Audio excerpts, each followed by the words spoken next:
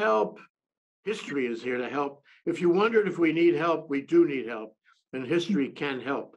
Um, I'm Jay Fidell. This is Think Tech at the noon block on a given Thursday.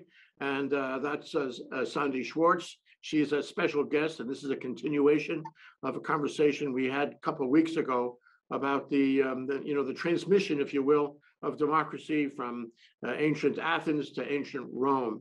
She's a history professor in the classics, and she can help us. History is here to help.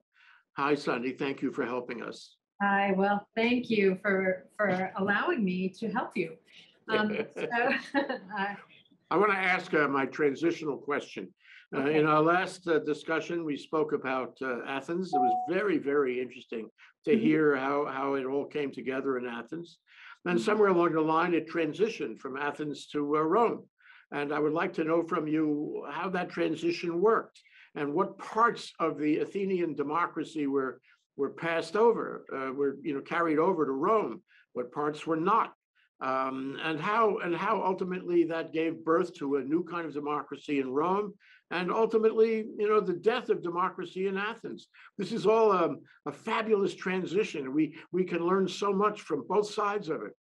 So let me let me know about the transition, Sandy. Okay, so speaking about um, Athens, um, Athens, we have to like take the bigger picture of the Mediterranean world, mostly in the Eastern Mediterranean world. The Aegean Sea is where Athens uh, had it had grown its empire, uh, and uh, and then further towards the west uh, in Italy, um, there were other peoples who were beginning to settle around the Italian peninsula.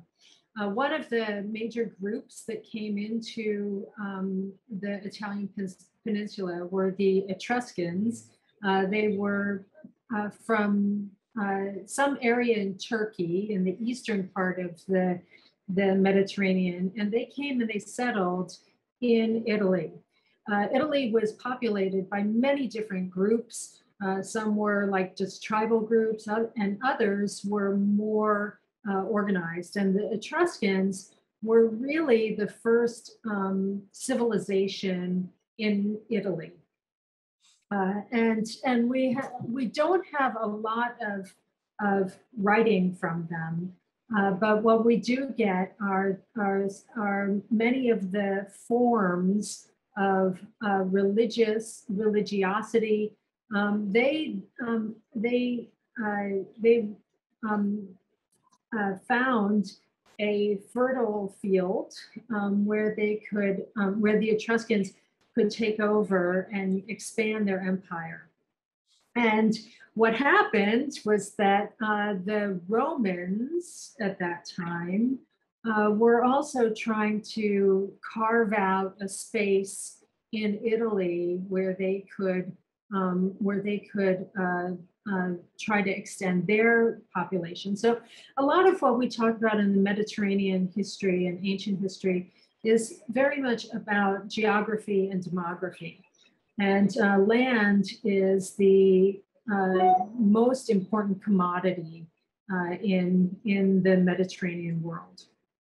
Okay, so I'm just gonna, this is a little bit uh, not as linear as Athens, but this, um, but uh, uh, the story of Rome uh, really um, made a mark on uh, what would happen uh, in the um, in the middle area of the Italian peninsula.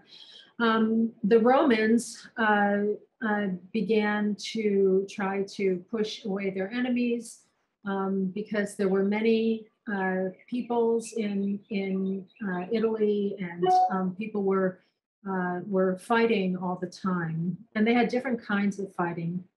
The Etruscans uh, were were able to absorb some of this uh, early um, Roman culture. And so during that period of time, and when you see the, um, the image that I have in back of me, uh, this is an image of the, um, the, the uh, earliest um, uh, forefathers of Rome, and and and much of what the Romans found was from ta- was taken from it, uh, it the Etruscans. The Etruscans are where it, uh, Tuscany is, obviously today. That's where that's where. Mm. Okay, so um, so the Romans at first didn't have a real structure, but the Etruscans kind of gave them a structure of of uh, consolidating their society. And so, in what happened was that the Romans began to try to take over other places in Italy. And that really uh, sparked a kind of um, a, a new kind of um, existence for these little, you know, people who were living on hut in huts on the hills of the rivers of Italy. Um, the the the um, the Romans began to um, take what the Etruscans gave them, and then they moved throughout the Italian peninsula. I mean, this I might be getting too much in the weeds, and just tell me if if, if you're not. No, I following. believe, uh, yeah, I mean, I, I just am remembering that uh, Tuscany, uh, I guess, which was the Etruscans' home, is probably a hundred kilometers away from Rome. It's, a it's a distant place. It's, it was, there was a, a town on the Tiber River where um, the Etruscans came to, to this river and, and the, the river Tiber um, had a, an island in it. So you could ford your cattle um, from uh, the in Tuscany to uh, Rome. So it was a meeting place. It was a common denominator uh, among these two civilizations, uh, the Etruscans and the Romans. And so they met in, in the middle and they traded and they exchanged ideas. And, um, and so the Romans then began to understand that they, they could probably create a, a, a city that, that, that they could have. So um, there are many myths about, uh, about the exchanges between um, the Etruscans and the Romans in the early period. Uh, Give us an idea what periods we're talking about. the- okay, the periods that we're talking about are about 600 BCE. Uh, but we do have um, the uh, stories of the historian Livy, who wrote about these um, incidents in, in early Roman history. One of the most important um, incidents in uh, early Roman history had to do with a Tarquinian king, that it was a king who, who was, his name was uh, Tarquinius Superbus, and he acted like a tyrant. Uh, and, and so um, he, he lorded it over the Romans, and then the Romans uh, broke away and, um, and claimed their freedom. Um, there are lots of stories about Livy, and Livy is, is a, was a very uh, um, melodramatic uh, uh, uh, um, storyteller. And, and these stories um, were the basis of, of ancient Rome. One of the, one of the uh, signal um, events was when Tarquinius Superbus went to a dining party with his uh, fellow Romans. And at the dinner party, Tarquinius Superbus raped the, um, the host's wife. That's, now that's melodramatic. Seriously. It's like you can't, I mean, it's so great. It's so great. It's all soap opera. And and the way that Livy t- tells it, he's just out, he he loves it. He loves the story. So anyway, so these these so the Romans uh, actually I should say I should backtrack that uh, Livy wrote these stories during the time of Julius Caesar, or uh, Augustus Caesar. So the, what you're seeing in the backdrop is from the Ara Pacis, and that is a creation of um, Augustus Caesar. And that was Several very hun- Several hundred years before. no? Right. So the the the Romans um, had a motto saying that they never threw anything away. They kept all their traditions. The Romans were very, very traditional. Even what what they brought from the Etruscans, um, they kept. Uh, so, for example, the Romans would would um, have uh, they would have specs, which are uh, diviners of looking at the livers of uh, sacrificial animals to to get a sense of you know what the gods wanted. And you know that was that is part of the roman consciousness of um, of of really um, looking towards the gods. Uh, so so we have so so and and actually in um, if you go to Rome ever, there is a, the uh, Villa Giulia in which is a museum now, and you can see these model livers where the the priests would go and look at the entrails of the of the animals that were sacrificed. And and you know it's it's kind of weird you know because when you think about um, you know the romans being you know upstanding you know uh, politicians and they were but they also had these kind of um, these strange ideas. Okay. So so it's it, but you know but people took these things very seriously. Um, there was the story of Romulus and Remus, the two brothers who fought against each other. Romulus uh, sat on one hill, Remus sat on the other hill, and Romulus came and killed his brother. So fratricide is another storyline in for uh, Roman history. Hmm, Um, okay, um, all right. Do you have a question? Any questions? Yeah, sure I do. Okay, So, so Yeah. here, you know, uh, last time we talked about these uh, polis, uh, P-O-L-I uh, type community, Yeah. Communities that were um, in the hills, the hills around Athens. Um, and they developed a kind of um, a community uh, organization, a community, a pre-democracy, if you will, kind of community organization. And then it came together in Athens and uh, presto, we- you know, we have democracy functioning for the first time in the world among humanity that we know of. Right. Um, and it, it built, it built an empire. Um, so, uh, okay, some of that must have been transmitted uh, to Rome. Um, but I'm sure that Rome had its own process with the Etruscans and otherwise, where, uh, just as you say, they held on to everything. They never forgot anything, and they were taking little pieces of what was going on in the world around them and consolidating that into their own system, which turned out to be democratic. Can you talk about that? Okay, so um, so what happened is that um, throughout the west or eastern Mediterranean, um, there were communities that were kind of uh, becoming, you know, the polis, the city states. Um, there were um, when uh, so let's go back to 600 BCE. Uh, the population was growing.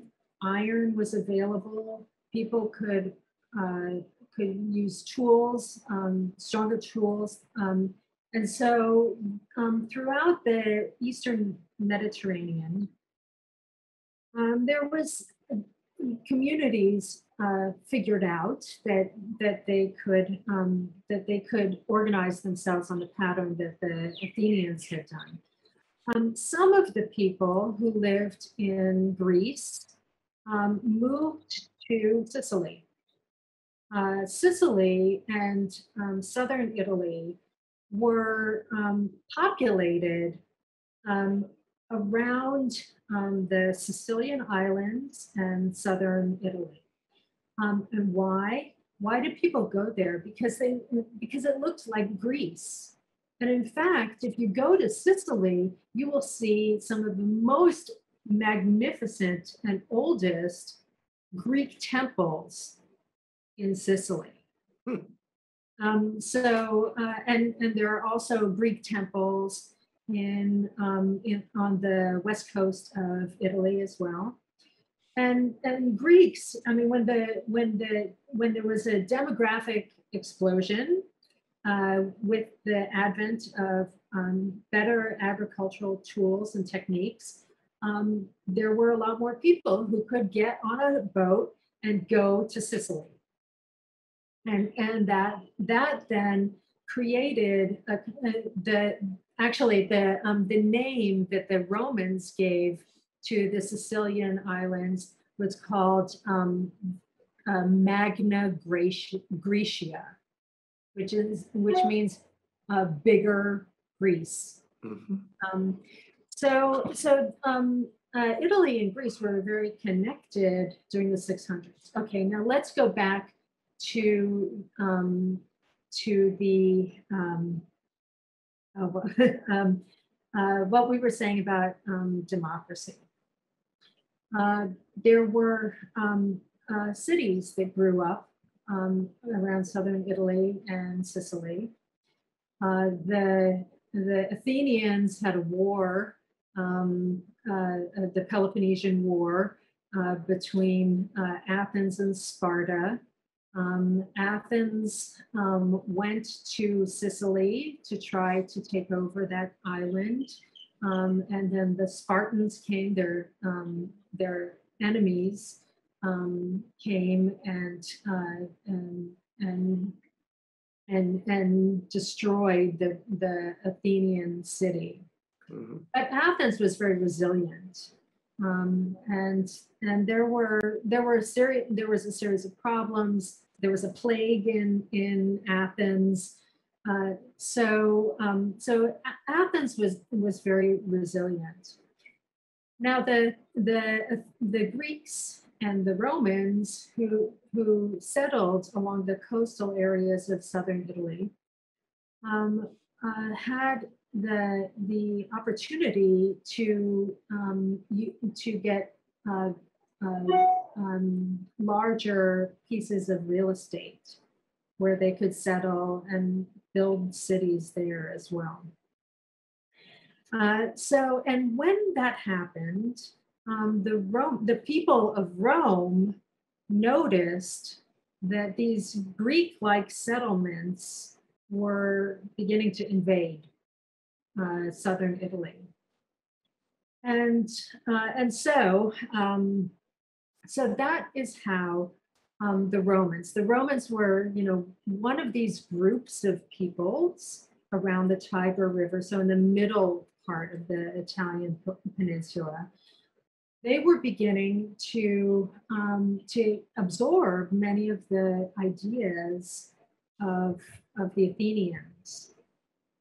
Um, and so what we have is, for example, um, back going back to the story of uh, the uh, Etruscans, um, it seems that there was a a kind of coup d'état among the Etruscan culture and um, and and the people who took over uh, started a proto democracy uh, in in in what was the uh, Etruscan territory.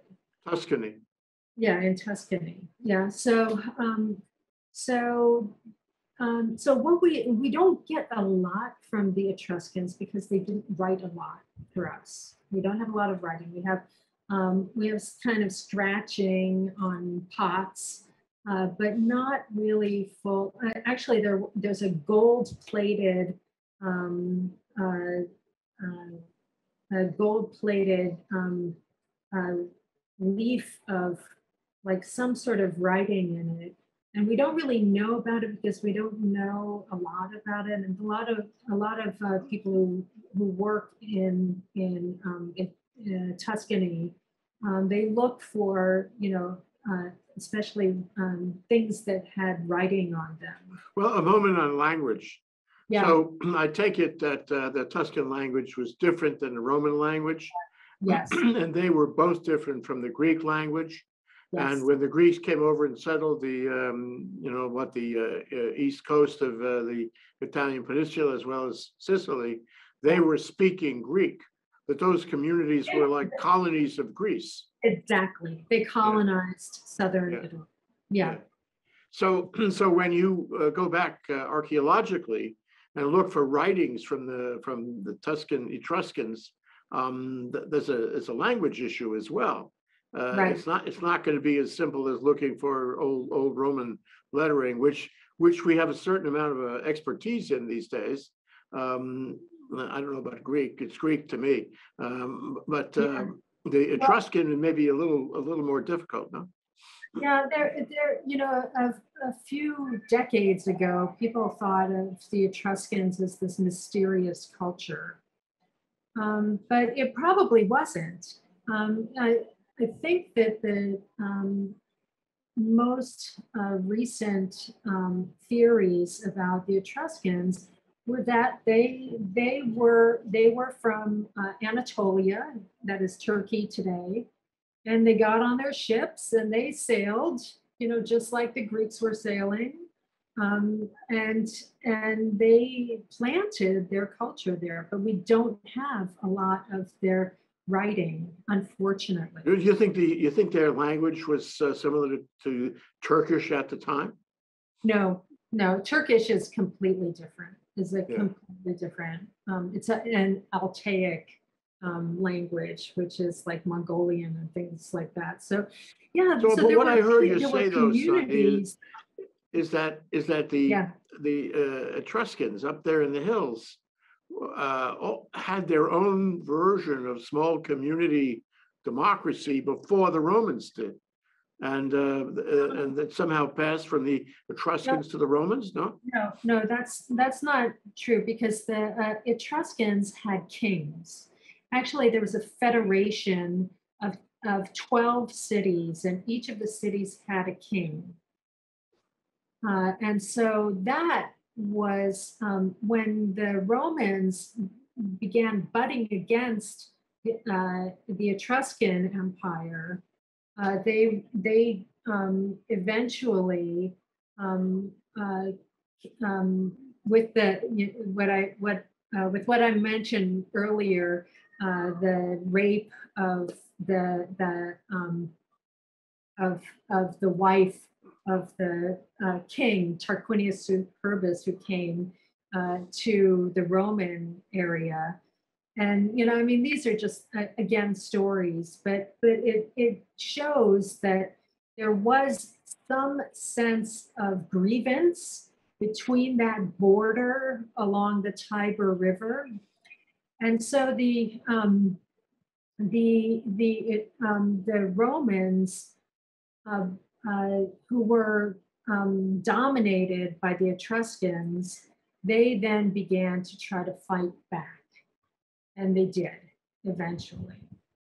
Um, and so the Romans, as they, their populations were growing, and as the Romans were beginning to develop more advanced um, uh, uh, uh, battle plans, um, that then pushed the Etruscans further away. So um, the Etruscans gave to the Romans, and the Romans took it.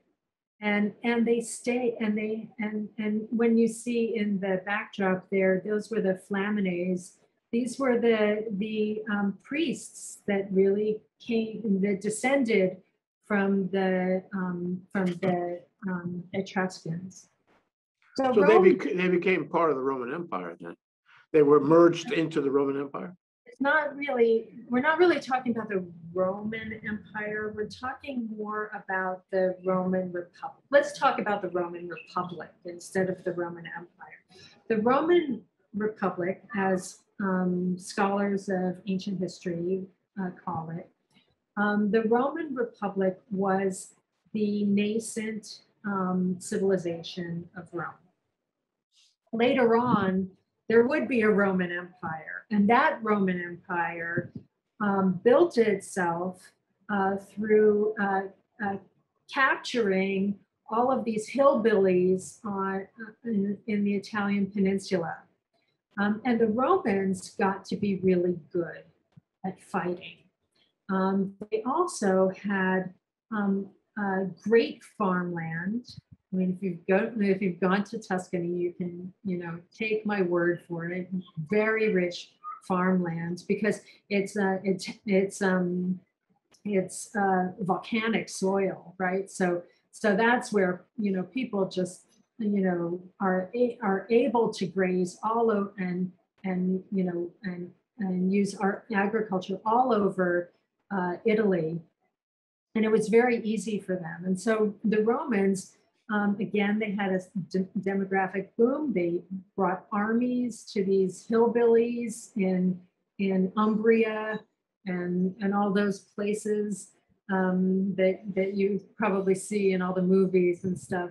Um, and so uh, what happened was that you know once the Romans began to figure out the system, um, they could uh, push out all these other tribal peoples, and then they would consolidate um, uh, the the peoples um, by offering a kind of um, kind of contract. Um, so there were a lot of different cultural groups, and the uh, and the Romans, when they defeated their enemies, um, they brought their defeated enemies into their system. It was very um, clever. Um, the Romans chose to uh, offer um, uh, perks in exchange for peace. Well, this was um, a matter of expansion, wasn't it? It was a matter of um, building an empire, and they probably used that in all of their adventures uh, up through up through pretty much all of uh, Europe. And uh, I just wonder what motivated them. You mentioned before that in those days it was largely about geography. Uh, what what motivated the Roman people, the Roman culture, the Roman civilization in Rome to acquire so much territory? They they got to be everywhere. What what was driving them? What was driving them? Good. Okay, so um, there was a rival empire uh, called the uh, the Punic Empire. It was on the coast of North Africa and that um, and and the Pun- the Punic Empire uh, was originally from the Levant, so the Eastern Mediterranean. So there was there was a group of colonists from North Africa or from from uh, Tyre and Beirut, um, and they were doing the same thing that the Greeks were doing. And so um, the the uh, uh, Phoenicians and or, or, the Romans called them the Punics. Um, they uh, uh, they um, created another empire that in Spain, in particular, uh, Spain had rich mineral, mineral deposits, um, which made the the um, Phoenicians very powerful. Um, they had ships, just like the Greeks did. Um, and the Romans didn't really have, they did not have ships. They were landlubbers until the Romans realized that they had, that, that the uh, Phoenicians were going to go take over the, their new kind of um, nascent um, uh, empire. And so they then decided that they needed to wipe out the Phoenicians. Uh, and so the um, so in a way it was defensive or it was, competitive. It, right. So um, uh, everyone knows from the textbooks, you know, that um, Hannibal, the great uh, uh general of um, of the Phoenicians in the Punic War, he brought African elephants to the Alps and his plan was that he was going to take over Italy. He was because um, the Etruscans were were waning. The Romans were a little bit not not completely consolidated. And so um, Hannibal took his uh, opportunity to break up um, the, the, um, all of the alliances that the Romans had made with these other peoples. And so um, Hannibal actually is probably the person who, who really shaped um, Italy as it, as it was. So eventually what happened, um, I mean, in the, on the west coast of, of Italy, there's a, a sea that's called the Tyrrhenian Sea. So it's, you know, uh, you know, the French Riviera and then the coast of Spain. And that was kind of a zone of trading and exchange. And, um, and the Romans began to worry that they were going to be taken over. And so eventually, um, the Romans um, uh, uh, began to think of themselves as people who could create their own empire.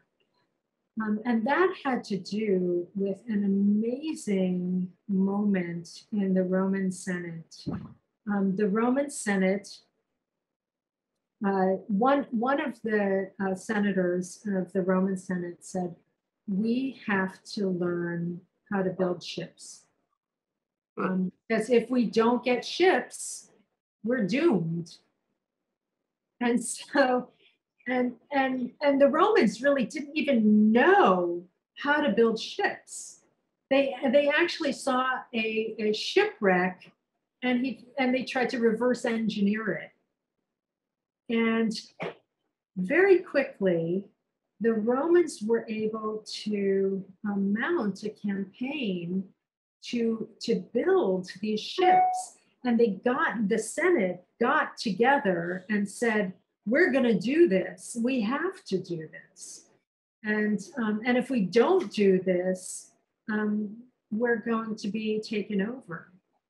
So So, what, what I, what I get, what I get is that um, there's parallel things happening. yeah, So they, they realize that their own destiny is, uh, is, is uh, uh, in, inter, interlaced with, um, with, with traveling, with making, making territorial grabs outside of Rome, and you can't do that without ships.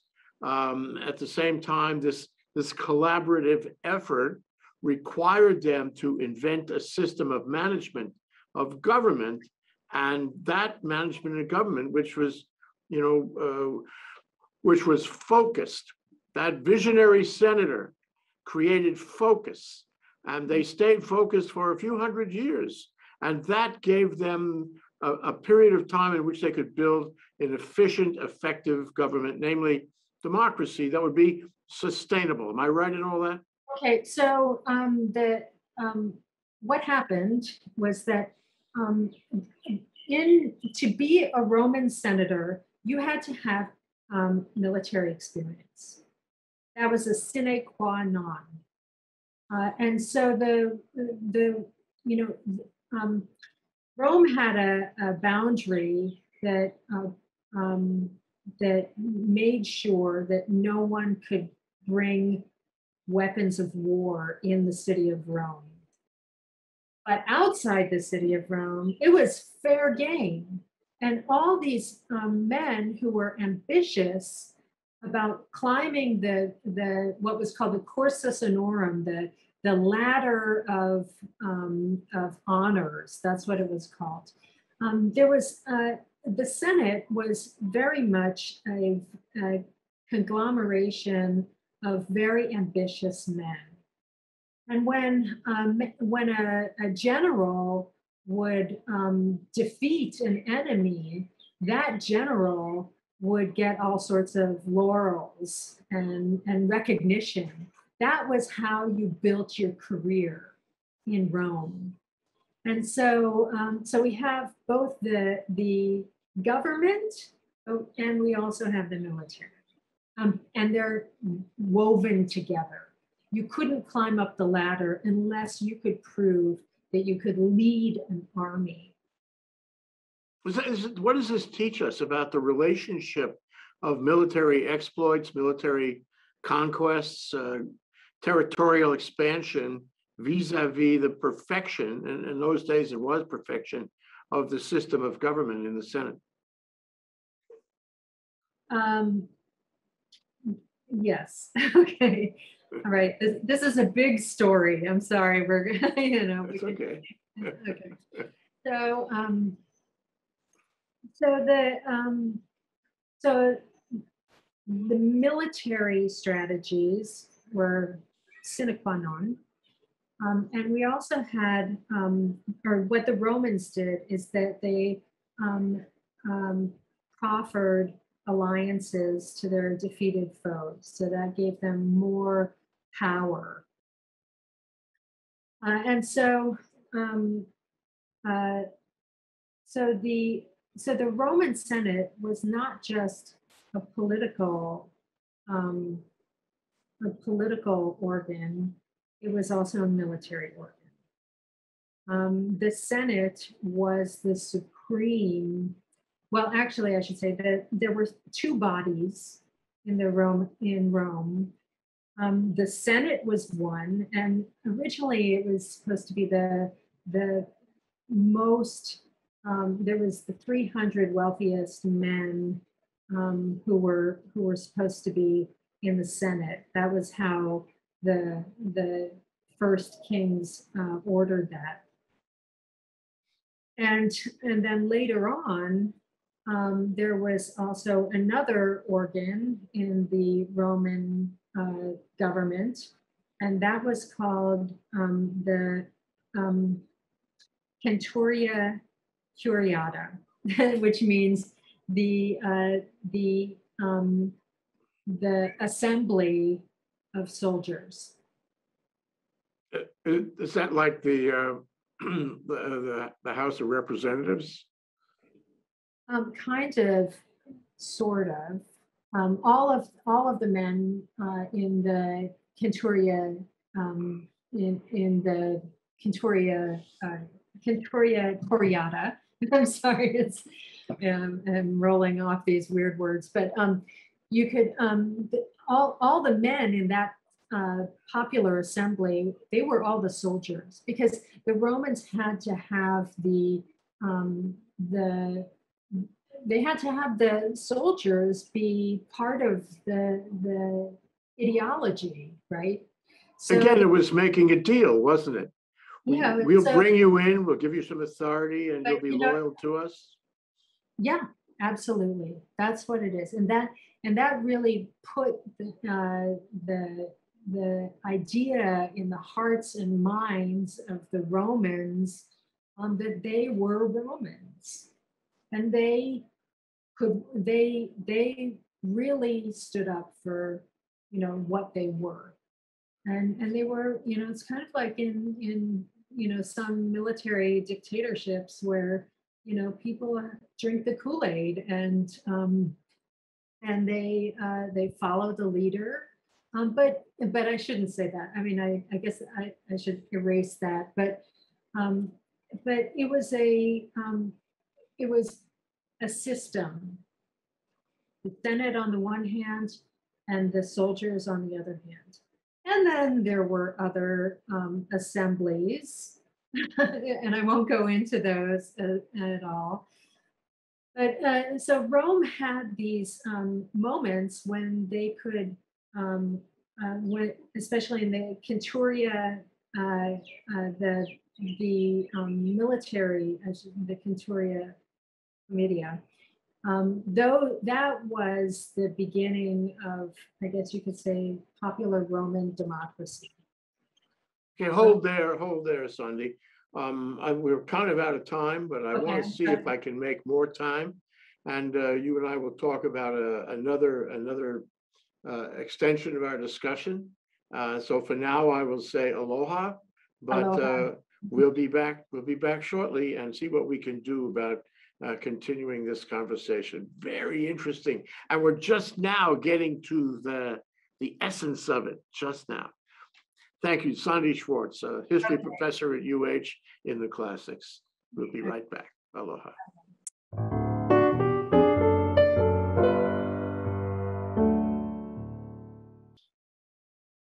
Okay, we we made arrangements. We're back. We're back with uh, Sandy Schwartz, a history professor in, in the classics at UH Manoa.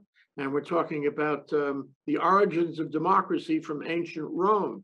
So we took more time uh, here to extend the show called History is Here to Help.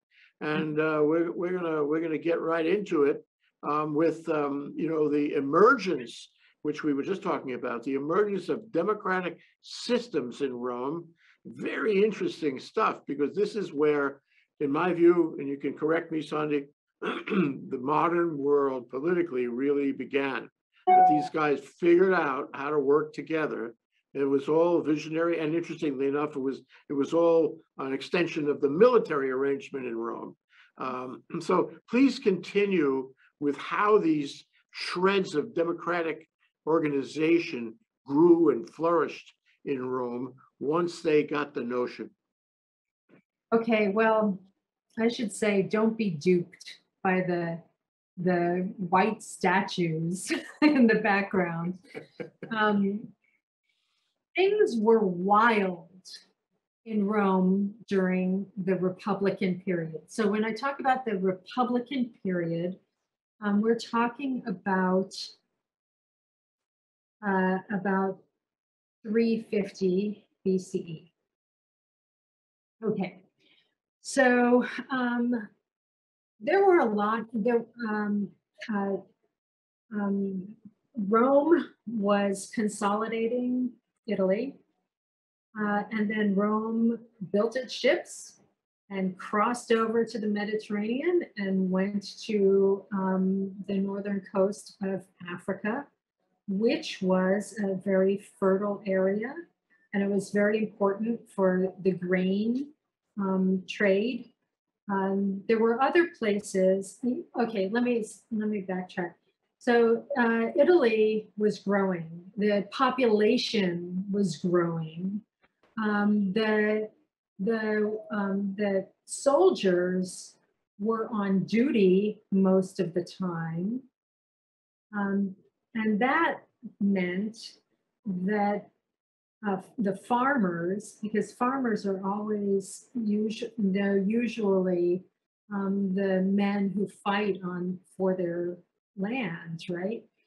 But um, in as as the Roman Senate pushed for more and more warfare, that meant that the soldiers had to leave their homes and uh, and then they would have to go to faraway places like someplace like Carthage, for example. Um, so, um, so more and more soldiers had longer tours of duty. And in that time, uh, people would poach on vacant lots. Um, sometimes the families, the women had to work the farm. Uh, there were um, sometimes there were slaves, but you know, it was hard to um, keep slaves when the when the pater familias wasn't around. Um, so during the this period of what we call the Roman Republic, we see a breakup of of what happened uh, with this militar, militaristic society. Um, um, in the eastern part of the Mediterranean, um, there were a number of wars that were sparked by Alexander the Great and his um, and his successors. And the and as um, the Senate kept thinking about how great our system is, why don't we just keep pushing it and expanding our network? And, and um, the, the Romans weren't colonizing um, the Eastern Mediterranean. They were actually going to take away um, some magnificent um, provinces, places. That, for example, Pergamum was one of the great uh, uh, um, um, great kingdoms of, of um, Turkey. It's, and these are all Turkey. Most of the action for Alexander the Great's successors is in Turkey uh, and during this period. So at the time, though, Greece was pretty active. Gre- It was very active. What had happened was that Alexander the Great went on his expedition to the east. Uh, a lot of people came and followed after him. Some people never came back to Greece. Um, but but there were Romans, of course, um, who who you know could fill in the hole, right? They could um, they they could move to these areas, um, and um, and you know there were there were a lot of um, moving parts. Did they eclipse him? Did they eclipse, uh, you know, the Greek uh, move, move into, move to the east? Yeah, well, um, the the um, the exploits of Alexander the Great. Um, there were there were towns. Actually, there were. I think the count was that there were 27 cities named Alexandria um, after uh, Alexander's conquests. Um, the most important um, part of the Mediterranean for the Romans was um, Alexandria. Now, Alexandria was a kingdom. Uh, it was the Ptolemaic kingdom of, uh, created by Ptolemy, who was one of the um, successors of Alexander the Great. Okay, I'm, I'm, maybe we should uh, say. No, I just, I just want to get a later. relative, a relative picture of Okay, whether so- the Romans were becoming more powerful, uh, supplanting Alexander, supplanting Greece, or whether they were Um, operating at the same time. What was the dynamic there? Okay, so the dynamic was the Romans saw an opportunity to go um, attack some of the weaker kingdoms. Um, so, for example, Macedonia was one of them. Um, and so um, the Romans uh, uh, went across the, Adri- the Adriatic Sea and they came and they took over Macedonia. Now, Macedonia was the kingdom of Philip, Philip II, and his son, uh, Alexander III. So there were some teetering kingdoms in this area, in the Balkans, as you can imagine, you know. the- um, and so the, uh, the, the, um, uh, there was a, um, a general who, um, who uh, requested from the Senate permission to take over Macedonia. And his, his name was uh, Aemilius Paulus. And um, he brought his armies across the Adriatic, came to Macedonia, trashed the place that was the, you know, the kingdom of the of the Macedonians and Philip. Philip at that time was the big man in in um, in the Aegean area. But when Aemilius Paulus came to uh, Macedonia, there was no way that the that um, Philip or uh, or the Macedonians had no could they could not stop the the the Roman sorry uh, they they um, the the Romans came to Macedonia and the Roman armies were so skilled they were so well trained um, that they um, bit by bit any kingdom that they could get their hands on they would take everything apart. So Macedon was one of the first kingdoms that the Romans came to. When you take, Uh, when you say take everything apart, do you mean to to they sack it? literally- You know, They they they took everything they could. Did they and- rebuild it? Did they rebuild it? Did they make a deal with the remaining population? Did they remake it in the Roman image? Um, eventually, yeah, they would. Yeah, they would do that later on. But in the first blow, when Aemilius Paulus came to Macedonia, um, he he and his army um, uh, uh, took all the spoils of Macedonia and they brought them all back to Rome. Aemilius Paulus was the first man to get a triumph. Triumph wasn't, I mean, we talk about triumphs casually, but for the Romans, the triumph was the most, or for any ambitious general, a triumph was what they wanted. Um, they wanted to be seen as a king, as a as a god, uh, and it was like a ticker tape parade in Rome when Aemilius Paulus brought all the spoils of war into the war, uh, uh, the the forum. Um, the people of Rome were um, were were waving and shouting and showing how glorious um, the Romans were, that the Romans did. It was the Roman soldiers, the Roman Senate, and the Roman generals. And um, Aemilius Paulus got um, he he got permission from the Senate to have a triumph.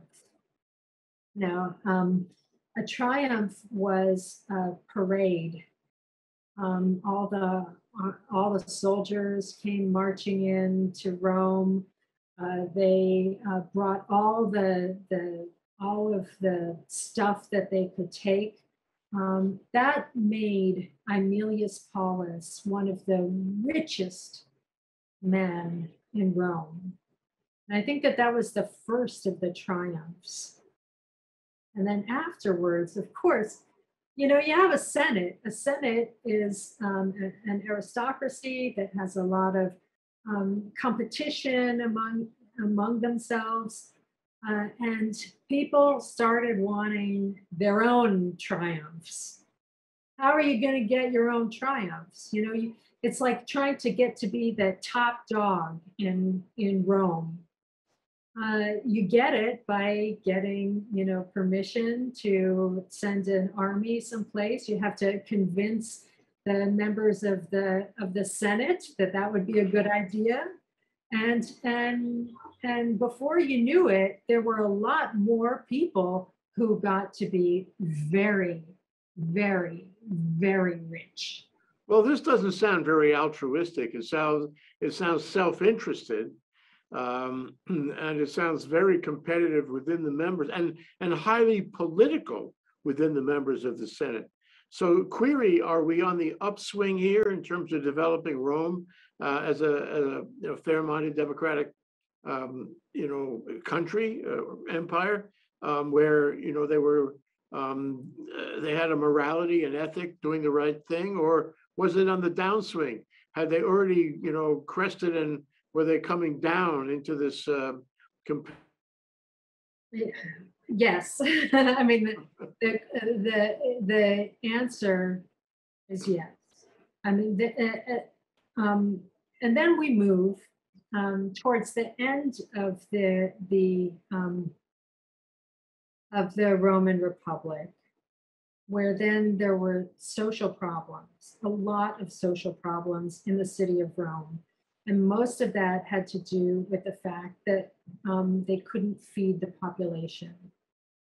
So the Romans, um, uh, the Romans were buying grain. I mean, they had, they needed grain. That was what kept Rome growing because at this time, there were no more uh, farmers. Um, and so people gravitated toward the city of Rome.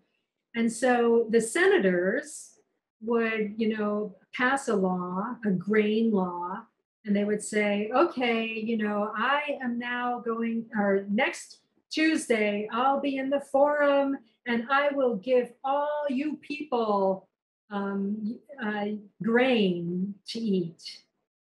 And, and that was kind of a way of getting, you know, buttressing, you know, this, you know, people who had grain and who could um, kind of get the crowds together. At this time, Rome was a very large city, and there were a lot of people, desperate people in Rome. And so there would be grain shipments and people, you know, and people who were wealthy, they would they would try to, you know, make sure that everyone knew that so and so was some, was giving them the grain. But it was a giveaway, though. They, there was no quid pro quo. It was a giveaway because the, you know what the quid pro quo was? It, it was votes. Hmm. Um, so the members of the Senate, um, who were, who were ambitious, um, they would try to get food for votes, or votes for food, or however that. I mean, they didn't care. They needed food. Their, their families needed There's a corruption in all of that, isn't there? Yes, there is. There was, yeah. But, you So- know, it wasn't, you know, the, the Senate, you know, the laws of the Senate weren't completely um, uh, uh, straightened out yet. Um, and what the problem was, was that, you know, when you have a hungry populace in a big city, you know, there, there's a lot of desperation. Uh, and, and so the, so there were other um, assemblies, you know, there were many different assemblies in Rome. Um, but there, there were some people who began to um, criticize the Senate, that the Senate wasn't doing its job. And instead, you know, they were gallivanting in the East, right? And so, um, so the the Senate wasn't doing its job, and the Senate, being a an aristocratic assembly, you know, didn't really connect to people who were the common people. It's kind of like the French Revolution almost, you know, where you know you don't care about you know whoever's sick, but then you know uh, whoever is hungry. But you know some people you know were were fine with you know giving free food or give giveaways as you say uh, as you said Jay. Um, and so there was there were mobs in in in the Roman Forum. Uh, there were people um, who would, you know, who there was corruption. You know, they would they would tell people to go to the assembly tomorrow and maybe you'll get some food or sandwich or something. Um, and and that was how many people in Rome subsisted. It was a it was a real problem. There were two factions. There were two factions. One was called the uh, optimates, which were the the betters, and the populares, which were the popular party. So there started to become this factionalism, and people who who were opportunistic would drive a wedge in between um, the the different factions. So uh, uh, I guess I asked the same question again. This demonstrates, as this is, these are badges of decline uh, relative to the way it had come up. Now it was um, on the way down. Um, And it did not, it did not bode well uh, when you have this uh, divisiveness, when you have this corruption. Um, This is a big problem. So where, where is democracy at this point in time? I, I, I, I guess what I hear you saying is that at some point, um, they reached an apex and it was as demo- democratic as it was going to get. It was altruistic. It was, uh, let's take care of the people, um, you know, as a, as a, as a charitable matter. And then after a while, it de- declined. Um, and then I guess what I would conclude that it was not as democratic. Uh, at some point, it, it declined. So when was that? I guess all these factors are working in that direction, but, but when was that? And what was the ultimate effect? I mean, we, we're talking about a long slide in which Rome, the empire of Rome ultimately disappears. Is, are we talking about that now? Um, well, it's, um, okay, we can, um, so let me, let me talk about Caesar Augustus and maybe Julius Caesar. Everyone knows Julius Caesar was stabbed in the Senate. Um, when, uh, Julius Caesar died, he, he only had one heir and his name was Octavian. He was adopted um, posthumously by Julius Caesar. Um, uh, Julius Caesar at that time had control over France. And, and he also um, built a very loyal army in France, uh, and Gaul, which is uh, France today, Gaul then. Um, and he, he um, began to um, build his empire, his personal empire in Gaul, whereas um, his um, son-in-law, whose name was um, Pompey the Great, um, you can see how, how the Pompey the Great, always the Great, you know. Uh, but Pompey, um, uh, Pompey um, snuggled up with the Senate. So he was with the Senate. Uh, Julius Caesar was in Gaul. And um, uh, Crassus uh, was in the Middle East. And he also was in uh, southern Italy. Um, so there were there were a lot of social wars in in the Roman Republic, and as the Roman Republic began to fall apart, um, the the three triumvirs, the three men got together. The three richest men in Rome got together and divvied up um, the the the empire. I guess we can call it the empire now. Uh, and and these were um, uh, was a cooperation. Uh, there was um, there was the first triumvirate, um, which was when Julius uh, Caesar died, and then the second triumvirate was when um, August, uh, Octavian took over uh, with Mark Antony, and um, and I've forgotten the third one. I'm sorry. Uh, so um, so these um, these very powerful, very wealthy men were like giants. Like you know, if you think about in the United States, you know these um, these humongous um, corporations. You know that that's what the triumvirate was like. Um, it was In a uh, funny way, you're drawing a parallel for me Mhm. on uh, to Cosa Nostra. In the same way, you divide up the territory, uh, you make a deal, uh, you can get this part of it, I can get that part of it, and you Yeah. rule ultimately by by by threat and violence. Right. That, that is right. Yep. Yeah, like the Cosa Nostra, yeah. But, but this was really serious because there were, you know, militaries or armies all over um, the Eastern Mediterranean.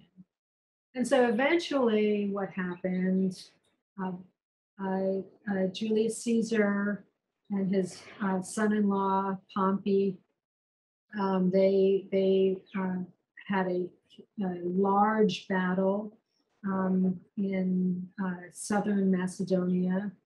Um, Julius Caesar won, um, and Pompey uh, lost. Um, Pompey fell into the hands of one of the Ptolemaic kings, and he uh, um, bestowed this prize um, uh, to um, Julius Caesar because it seemed that Julius Caesar was going to be the last man standing. And so um, one of uh, one of Pompey's uh, no, Pompey's henchmen um, uh, brought the head of Pompey to um, to Julius Caesar when Julius Caesar had a a short dalliance with the queen of Egypt, Cleopatra. And we've seen that in Technicolor in all the movies with, you know, the Taylor. Um, uh, uh, so, um, and, and- but, but Alexandria was, was the key to pacifying the Roman um, people in Rome to feeding, to get, to feed them. So Julius Caesar wanted, um, wanted food. He wanted an arrangement so that he could have, um, he could be able to feed the people. And if he can feed the people, he can win over anyone else. Yeah, it's it's a really kind of it's a difficult um, timeline, and it's very um, very complex. But you know what, it sounds, uh, just on that, on the four corners of that, it sounds unsustainable because they had left the, uh, the landscape outside uh, the city. Uh, they conglomerated in the city. Um, it doesn't sound like there was a, a middle class. It was, sounds like people who were waiting for that, for that, um, that feed, that, that, that, um, the wheat. They're Yeah. coming from o- other way. So you, you require geographical domination in order to feed your own people. How sustainable then can that be? And your own people are not capable of feeding themselves. So you are completely dependent on these emperor soldier people um, to dominate other places. It sounds, it sounds like that dynamic cannot last very long. Yeah, yeah, no, it can't. It can't at all. So what happened next? Um, Julius Caesar dies after um, the battle with Pompey, and uh, and then um, uh, his um, his uh, his um, nephew, his name was Octavian, his adopted nephew. Um, he then takes over all the riches and privileges that he had as a general, one of the top generals.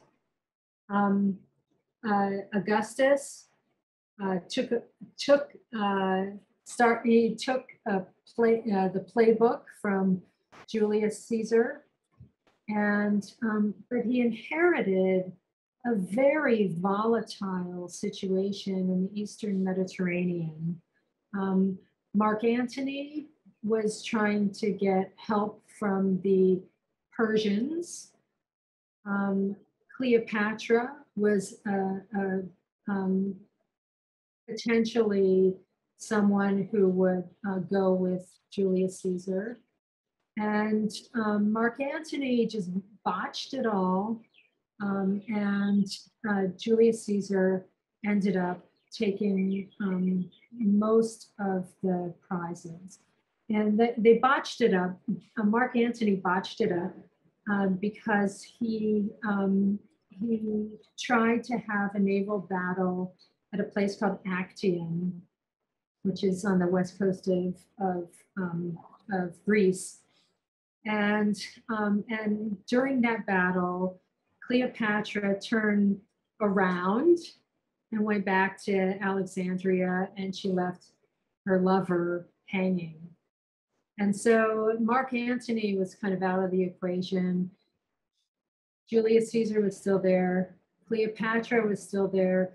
Um, uh, Cleopatra had that dalliance. She had two. Um, she had one son who's named Caesarion, and he and she also had two children by Mark Antony. But of course, once uh, once uh, um, uh, once let me think about this. I have forgotten about the the what happened to the children.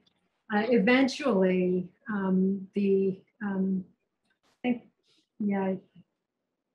Yeah, I was It- studying You know, it, it all, it all sounds like the stuff of which good movies or interesting movies are made. Yeah, I know. It's, it's And it's somebody, bad. somebody wrote it down and it carried a couple thousand years and Hollywood picked it up and, um, you know, from, from what you say, this is, the movies are, at least in a, in a rough outline, they're, they're an accurate, um, you know, uh, re- remembrance of, of what was going on. And I can imagine the local people in Rome were all captivated by hearing these stories come back from the front um, Oh, yeah. about all the machinations and, and the successes. And, and this must have built a kind of nationalism or reinforced a kind of nationalism.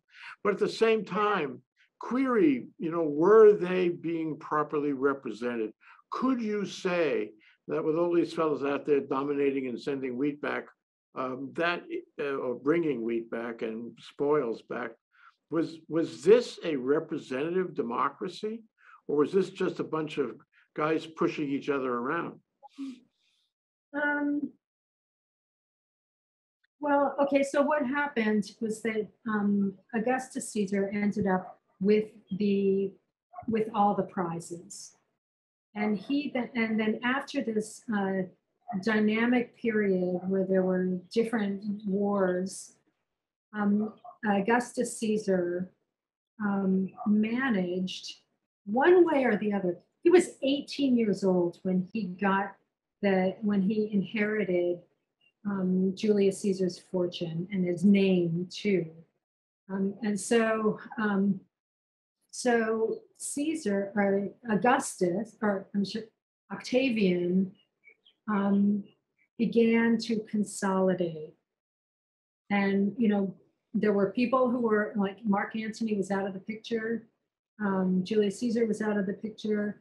He would, August, uh, Octavian was basically the, the last man standing. And he began to consolidate. Um, he, uh, of course, bribed a lot of people. There was a lot of bribery going on. Uh, and, um, and over the course of his life, Octavian, later he was called Augustus, um, he, he rebuilt Rome.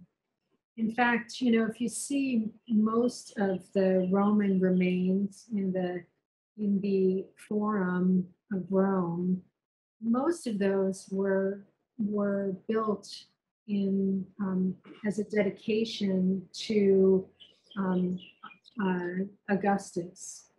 Augustus, um, after all of these wars, um, people needed a respite from the um, commotion in Rome. And, and Augustus gave that to the people of Rome. And it made people feel that there was someone driving the, the, the car um, and that, you know, that people could maybe get some continuity in, you know, their living positions. Augustus came to be the one man standing, and he lived for many decades. Um, so we we when we talk about the Augustan period, this is the period when the uh, social unrest of Rome kind of came to a stop. It was it was managed better, and it was managed particularly because Augustus made sure that he had all the grain. You got to give him credit for that. He was a, um, a positive leader. um, He was. And, um, uh, but at the same time, uh, I would, I would imagine that as he got more powerful and more beloved by the people, uh, the Senate lost power. Uh, and the, the Senate became ineffectual, so that, a- there must have come a time when he was out of power and, um, somebody else took over or tried to take over. And that was a recipe because, because the Senate was no longer functional. And so you don't have a government, am I right? Right, you don't have a government. Um, the, the, the senators who were in the Augustus's Senate were handpicked. There were no elections or anything. I mean, there were, there could be staged elections, but they didn't mean anything because Augustus had all the cards. So here we are, uh, and it's, it's, it's ripe for a fall, and it does fall. Um, and yet, a couple of things. Uh, one is that it left such a huge mark on Europe and the world. Mhm. I mean, even in describing it, Sandy, you've used a number of Latin terms. And it's not because that's an essential way of describing it, but because that is in our language. Mhm. Um, and the language all over Europe and therefore all over the world.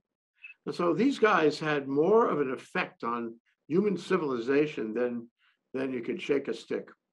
Um, and I guess in, in a funny way, they also had an effect on democracy. Um, except I, I- it seems like it's elusive. Because although they had a Senate, although they had the army as a kind of House of Representatives, I, I- haven't heard yet, maybe you can help me, um, how this was a democracy that, that would influence democracies using the term democracies, um, you know, so in, you know, through the, through the millennia that followed. Uh, it doesn't sound like, it sounds like their aspirations for democracy are greater than their actual contributions. What are your thoughts? Right. Um, um, the Roman army was a very important social phenomenon. Um, you know, the, I mean, we, those are the guys who went out, um, you know, conquering all these territories. Um, and we sometimes don't get like, you know, the, um, the down to earth um, life that they had. Um, but throughout um, Western Europe, um, you can find fragments of what the Roman soldiers in the army, the Roman army left behind. Uh, there's, uh, for example, there's a, in England, there's a, um, a museum about that has shoes of Roman soldiers and women's shoes and uh, uh, shoes of children. Um, because uh, when the it wasn't just the Roman soldiers who were marching across um, the the continent, it was also the families that were trailing behind. Roman Roman um, soldiers weren't allowed to get married, but you know that's not going to happen. You know, so so there were lots of men or, or women and children who were going back, and so I um, the the Roman army really created what we know as as, as um, Western Europe because Wow. the Roman army had that stamp. It had its uh, cookie cutter approach all over um, uh, all over Europe. Um, you can see it from you can see it in in um, in North Africa. You can see it in Spain. You can see it uh, in northern Germany. Um, all of that, you know, we see the the the the importance of these, you know, unknown people. Actually, there many of these people are are known because when they got out of their military service, they were given a diploma. And that showed that they were then full Roman citizens. Yeah. So, so if you look around Europe now, you see um, uh, a common denominator of parliaments, some more mm, free-thinking than others. Mhm. Um, some, some have, uh, you know, kind of conceded to authoritarian dictators, tyrants, to use the term that we discussed in Greece last time. Yeah. Um, And, um, you know, I, I don't think that's just coincidence. Uh, I would suggest, and I'm interested in your analysis of this, the fact that they had, they have today parliaments, uh, some, some better and some worse, uh, and voting for people and political parties um, that engage in politics um, and negotiation and compromise. Those are concepts that, at least some of them anyway, from this discussion, were invented in, in the Roman Republic. Am I right? And it's not a There was coincidence a at all. window- There was a short window uh, in, in the Roman Republic where things were functioning as we would like to think they, they functioned. but it, things fall apart. And they fell apart in Rome. And, and you know, it re, it created a new kind of um, empire. Which is, um, empires are nice and they leave long shadows, but the bottom line is that you, you'd rather live in a democracy than an empire. Because I'm sure there's plenty of brutality, atrocities, not only in the far reaches of the empire, we know that, but also in Rome itself. Um, But if, if you look, so the, um, the image I have is from the Ara Pacis, the altar of peace. And the, this, and Augustus had the strength and the power to bring peace together again. Um, now, is there a democracy? I don't think so. I think, I think that democracy in Rome, you know, maybe the democratic um, ideas maybe come through the army, but you know, army soldiers don't necessarily sit down and try to um, write any constitutions.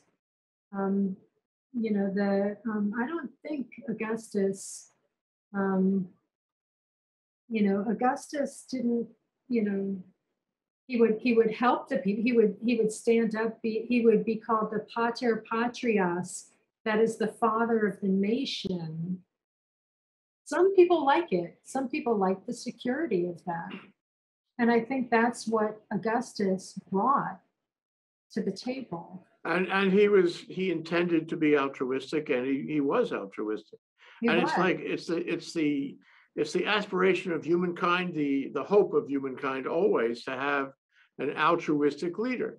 You know, hence we have histories of kings even today. Hence we make democracies into authoritarian governments because we're still looking for that altruistic leader, although it's hard to find it because of the old, the old slogan about how power corrupts. And uh, it's remarkable that uh, Augustus didn't get corrupted over a long period of rulership. But I want to ask you the operative question here, though. This Okay. is the hard one. How much of that is reflected in the American system, in the American Constitution? Because there were a lot of things that happened in the meantime. You know, the development of Western Europe gave us so much the in in you know as as lessons to learn uh, in the development of our system, uh, our constitution.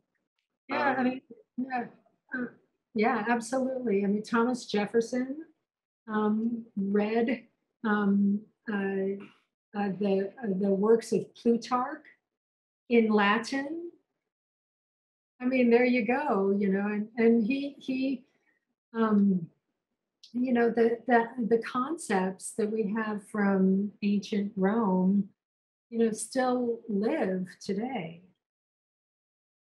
Well, Um, the other the other thing that um, maybe it lives even stronger today, and in the 19th century, are the lessons we can learn.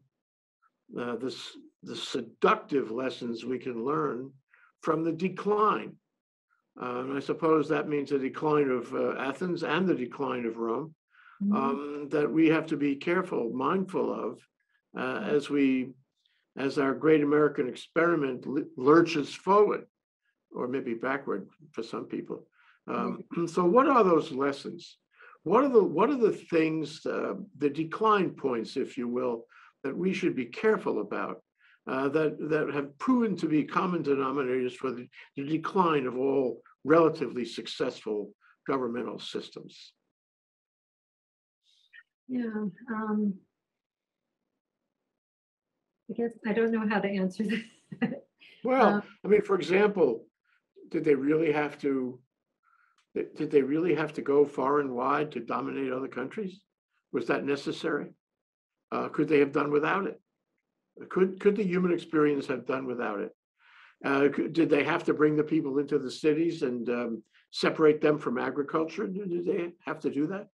Yeah. Um, and did they have to, um, you know, essentially dismantle the authority of the Senate uh, in favor of, of, of, of one uh, even altruistic leader. Uh. Have we shown, have, has history shown that that's dangerous business? Uh, Or are we doomed to live it again?